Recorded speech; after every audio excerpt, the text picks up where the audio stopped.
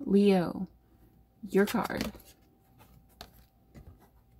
You manifested this situation and you have the power to change it. Um, Leo, we know you are master manifestors. That's obvious, you know. Um, and you, you're willing to work for what it is that you want to manifest. Now, here's the part. God gives you what you manifest. And this is debated so strong in the spiritual world, but I'm going to challenge it. When everybody says you don't need to heal to manifest, it is only partly right.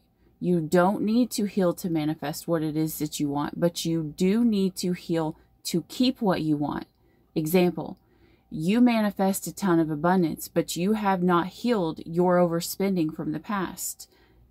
What's going to happen? You're going to get this abundance and God is going to be the one to be blamed for the losing it when he tells you specifically, I give you this, but I need you to do your healing work.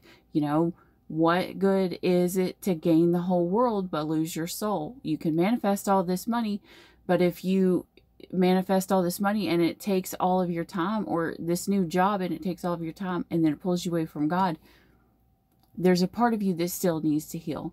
You can manifest whatever you want, but you still need to do your work, which is on the soul realm, to thank God for it, which is your healing work.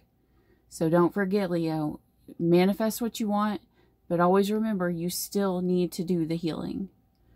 Um, and that's how you're going to keep, especially relationships. You manifest a good person in, you have to make sure you've done the, the healing work to keep them. Otherwise, they're going to run.